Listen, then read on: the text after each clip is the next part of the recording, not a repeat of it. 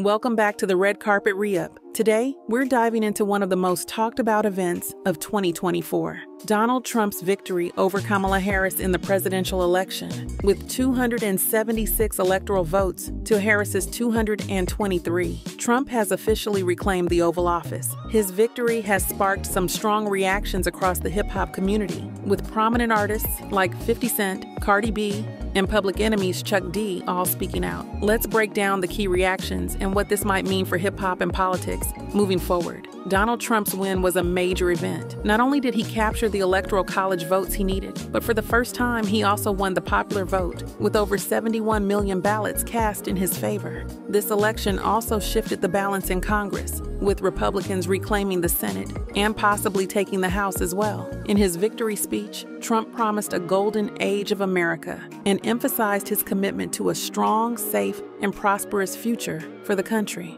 The reactions from the hip hop world were as expected intense and diverse. 50 Cent, who's had a complicated history with Trump, posted a somewhat tongue in cheek message congratulating Trump, sharing a photo of them together and joking, I'm leaving with the winner.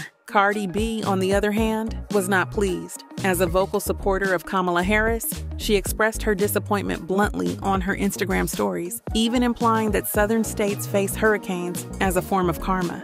This is why some of y'all states be getting hurricanes. That's all I'm going to say.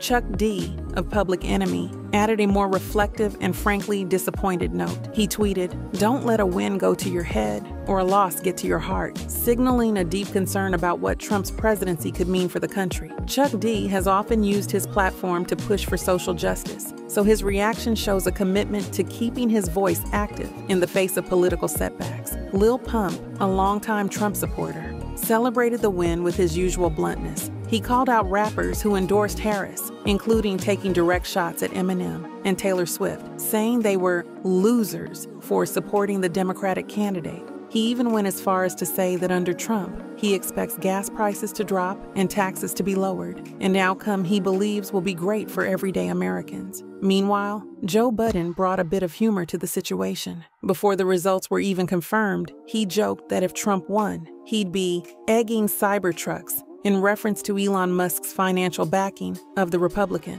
It's clear that for Budden, the outcome is disappointing but also a bit absurd. His humor shows how some are trying to cope with the result. So there you have it hip hop's varied and vocal reactions to Trump's second term in office. From 50 Cent's pragmatic post to Cardi B's frustration and Chuck D's resolve, this election has once again highlighted the powerful and often divided voices in hip hop. As we look ahead, it will be interesting to see how these artists and the industry as a whole continue to respond to Trump's policies and influence on American life. Thanks for watching. And don't forget to like, subscribe, and let us know in the comments how do you think Trump's win will impact hip hop and its relationship with politics?